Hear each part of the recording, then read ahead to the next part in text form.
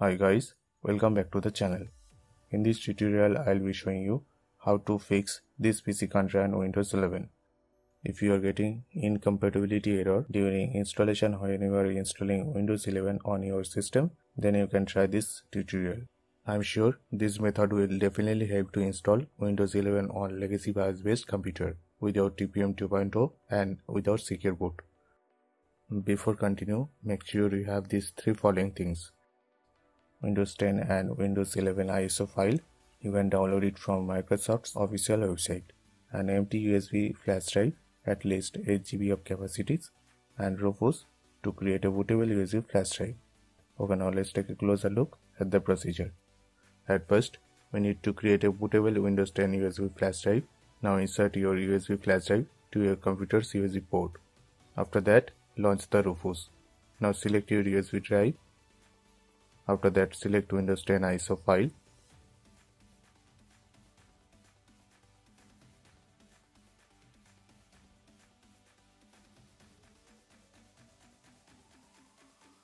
Select partition scheme MBR and target system type BIOS and file system select NTFS. Once done, click on start. Read the warning message about your USB drive and click OK to continue. Now wait until the process is completed.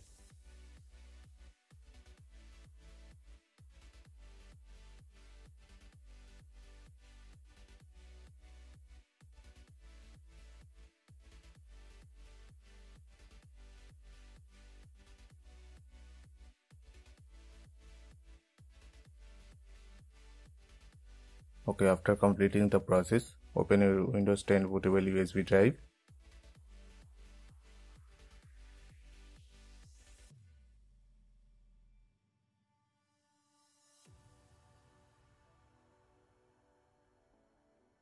And open the sources folder and find for install.wim or install.esd file. Once you found, just simply delete it from sources folder.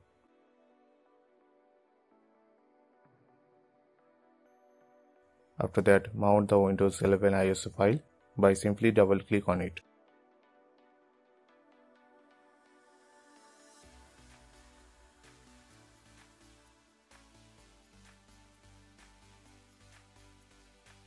Once done, navigate to the sources folder.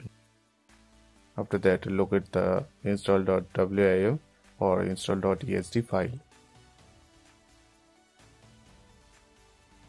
Once you found, copy this file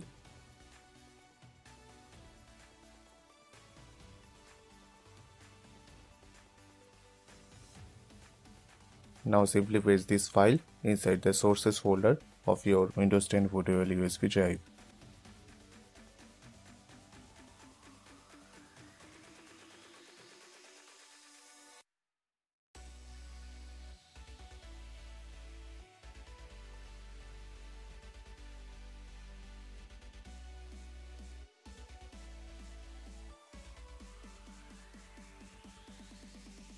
Alright, now this bootable USB drive is completely ready to boot from that.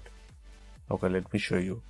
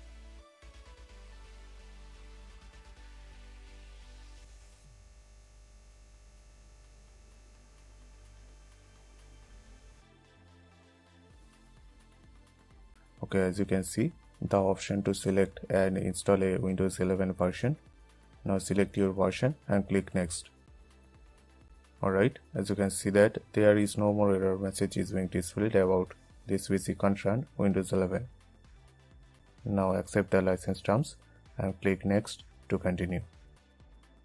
Now select custom and advanced option. After that select your drive where you want to install Windows 11 and click next.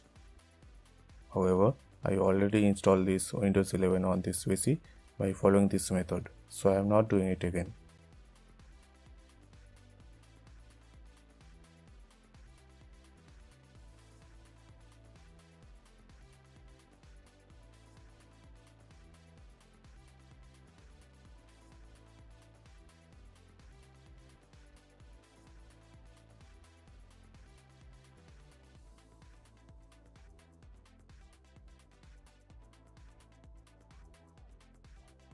Once the installation process is completed, just run the Windows update for necessary quality updates, device driver and software.